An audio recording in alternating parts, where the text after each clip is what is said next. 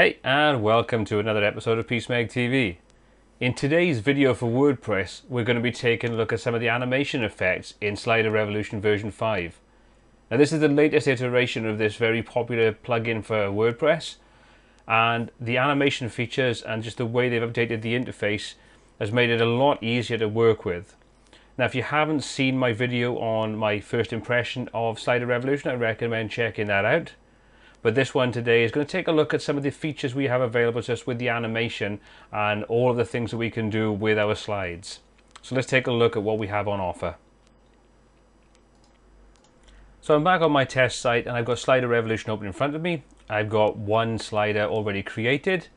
So I'm going to come into that and I'm just going to choose the option to go in and edit the actual slides. Now, you've got a much better interface to work with this time over the previous version. You can see we have an easier sort of setup. Everything is laid out nice and easy. We have a whole range of tools that we can use just to make animating and working with our sliders much more intuitive for both us when we're developing them and for the end user that's actually interacting with the website. So what I'm going to do with this video is I'm just going to go over some of the features we've got available to us to give you an example of some of the things that you can do with your slides. Now I'm going to take a look at the animation area to start off with because this is where you're going to spend a big chunk of your time when you're working with your slides. Now I've previously created a simple slide, it's just got a background image and it's got a couple of ordinary sort of text information blocks over the top of it that are animated in. If I hit the play button you can see exactly what it's going to look like. Nothing spectacular. So we've got our timeline as you'd expect to see it. We can scrub along our animation.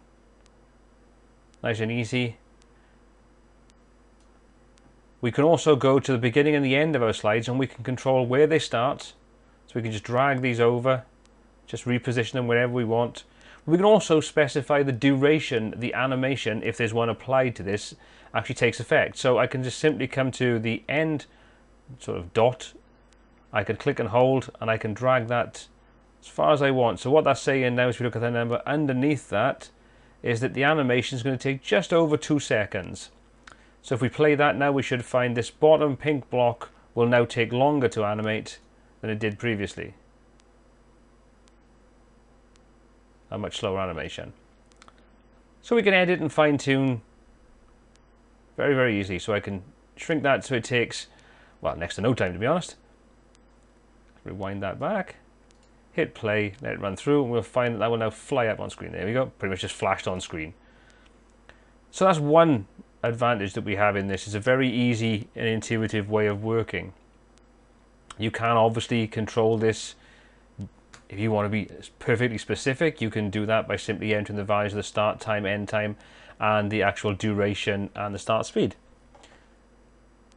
for me, I kind of like the whole fact that you can just quickly edit that beginning and end animations just simply by dragging these, these handles. We've now got the ability to play our animation inside our browser so we can hit play at any point and then the playhead will scrub along and show us exactly how this slide is going to look. We can also just click to jump back right back to the beginning or we can like I say we can scrub this along like you would in any kind of video editing package if you want to quickly just run along to check how things look without waiting for the animations to play through and tweak and scrub. Fantastic. So there's some of the first things we can do. And that's just with the interface itself. Now we've also got all these tabs at the top on this ribbon. Styles is the default one and you can see we can do things like we can specify the typeface oh sorry we can specify the actual um, styling that's been applied to this, the global styling that's saved as a style sheet. We've got the fonts we can use. We can save these. We can adjust font sizes, positioning, bold, italic, colors. For me, one of the biggest advantages of this new interface is the fact that we can now align things. It's one of the things that I found in the previous version was just a bit annoying trying to get everything centered up. So let's just say, for example, you've got things all over the shop. You can select the item, hit to align it to the center, do the same again, hit to align it to the center, adjust if you're not spot on, align it to the center, align it to the left, to the right, very quick and easy. You'll also notice we've got context sensitive icons available to us now. So we can copy things, we can delete them, we can change the parameters and things like that. So if we want to change the text that's in there, we can easily do that.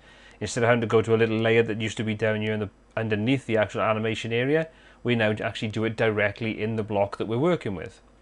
We can also add symbols directly into this. So let's just say, for example, I want to say send me an email. I can insert an email icon. Space that over, hit the tick to say confirm it, and now we've got a little icon added to this. Come back and edit it, add another one in, update, and we now have a couple of icons in there. Great. So let's take a look at some of the other things we've got available to us. We've also got a couple of extra icons over here on the left hand side. And this is where we can start to add our layers in like we did previously. Again, that would have been down underneath the actual animation block, but now we can directly add new layers straight from this area. We can do HTML and text, image, video, button shape, all the same kind of things you did before. We've also got quick layer selection. So if we've got multiple layers, we can just quickly come down to this, select the layer that we want. We can lock it. We can turn the visibility on and off. Yeah, there's lots of little things that you can do down there. Again, all very quick and easy. We can also switch advanced styles on. So if we want to, we can adjust things like the font, the background, the border, the transform, rotation, perspective, etc. without having to open up a new uh, sort of dialog box, which you then got to switch through and edit things. We can do it directly in the interface. And again, all very intuitive. So if you want to adjust the CSS, we can edit that. If we want to adjust the perspective or the rotation, the transform, change the background color. So we can say, well, I want to set that to be a completely different color. We can do that easily and set that. And then when we save it, it'll save that information over for us.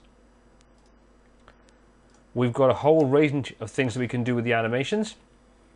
We can specify how we want to animate. So we can have this fade in, we can have all the different kinds of things that we had previously. Again, it's just a simpler interface to work with. We've got legacy animations from version 4, and we've got new animations from version 5, or we can create our own custom animations, and something we'll take a look at in future videos, how we create these things. And again, you can save that out. You can specify the easing controls that you've got on your animation. If you ease in and you ease out, specify the timings on those A whole range of options are available to you. Your loop animation, I can pause this if you find it a bit distracting, so you can just sort of go in and change your settings. So you can specify whether you want to loop, whether it's disabled, pendulum, rotate, or other options on there. We can specify the visibility. So what we can do with this is we can say that, well, we want to use this on desktops and laptops and tablets, but we don't want to have it display on mobile phone. So we can just disable that so it won't display on there. We can specify to hide it under a certain width. And we say only on slider hover. Ooh, that sounds very complicated. Behavior, you can make it automatically responsive. We can change alignment. We can specify the responsive offset. We can control the actions, so we can specify how we want this slide to be interacted with.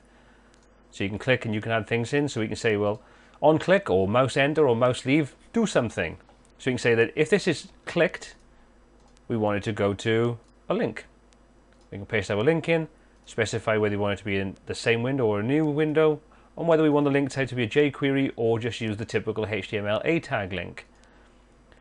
So if you wanted to, you could then specify something different. You could say, well, when the mouse enters, we say stop video. So if we were using a video on there, we could say, well, when the mouse enters the slider, stop the video.